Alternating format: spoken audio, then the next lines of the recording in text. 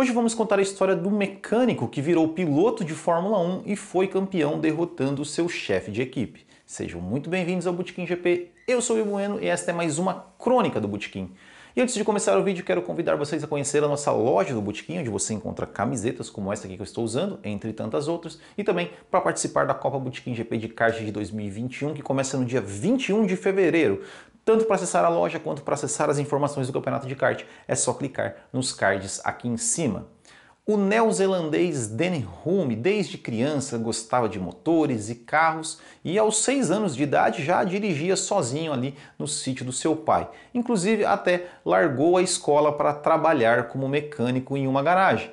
E Além de consertar carros, Danny Hume também começou a correr, a participar de corridas com carros de passeio e foi aí que ele começou a sua carreira de piloto. E foi conquistando bons resultados em seu país até que chamou atenção e foi convidado para participar do programa de jovens pilotos neozelandeses e foi levado para correr na Europa, onde correu os campeonatos de Fórmula Júnior e também de Fórmula 2. E conseguiu chamar atenção também por lá por vencer diversas corridas. Inclusive, correu em Le Mans em 1961 e venceu na categoria S850.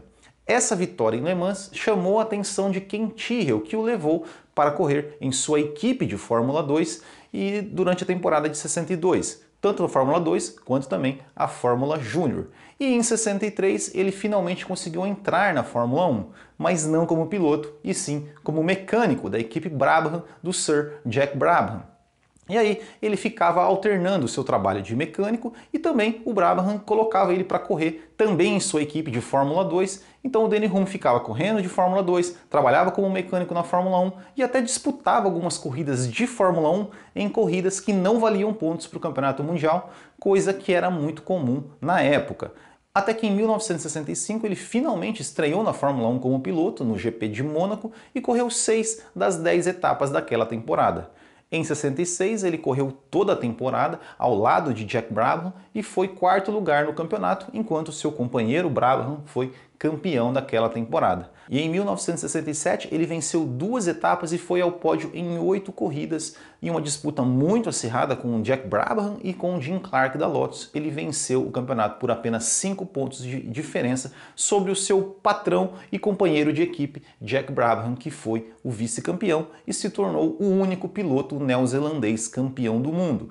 Danny Hume ainda correu na Fórmula 1 até 1974, conquistando oito vitórias em sua carreira e morreu em 1992, aos 56 anos de idade, vítima de um ataque cardíaco.